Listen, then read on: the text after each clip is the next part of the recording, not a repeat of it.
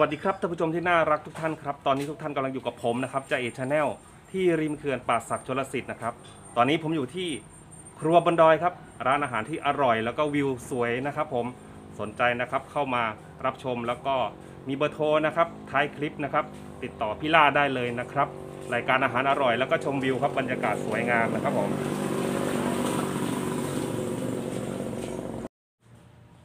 ร้านอาหารครัวบันดอยเป็นจุดชมวิวเขื่อนป่าศักที่สวยนะครับท่านผู้ชมครับ ถ้ามารับประทานอาหารกินลมชมวิวที่ริมเขื่อนป่าศักนะครับ มาวันเสาร์อาทิตย์เนี่ยต้องสำรองที่นั่งนะครับ สามารถโทรติดต่อนะครับ จองที่นั่งได้นะครับ ถ้า FC พี่น้องนะครับ มาวันเสาร์อาทิตย์นะครับ ให้สำรองที่นั่งไว้นะครับ อาจจะเต็มนะครับาสามารถติดต่อมาได้ที่เบอร์นะครับ 0822312488 และ 064-065-8215 นะครับ รายการอาหารของครัวบนดอยนะครับ ก็เป็นอาหารแม่น้ำนะครับ มีกุ้งแม่น้ำปลาแม่น้ำนะครับปลาบูปลาเนื้ออ่อนนะครับปลากดคัง สดสะอาดอร่อยนะครับ จากแม่น้ำป่าสักครับทะเลน้ำจืดมะนาวหวาน บรรยากาศร่มรื่นครับ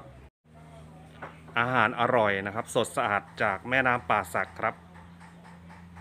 ท่านผู้ชมนะครับ FC พี่น้องสามารถเลือกที่นั่งได้เลยนะครับ ชอบมุมไหนอะไรอย่างไรนะครับ ติดต่อนะครับเจล่าและพี่หน่อยได้เลยนะครับ ร้านอาหารบ้านบนดอยนมัสการหลวงปู่ใหญ่ป่าสักนะครับ ชิมอาหารพื้นบ้านท้ายเขื่อนป่าสักชลสิทธิ์นะครับท่านผู้ชม สดสะอาดอร่อยนะครับ อาหาร จากแม่น้ำป่าสักนะครับ มีกุ้งแม่น้ำนะครับ ปลาแม่น้ำก็จะเป็นปลาบูปลากดคังนะครับปลาเนื้ออ่อน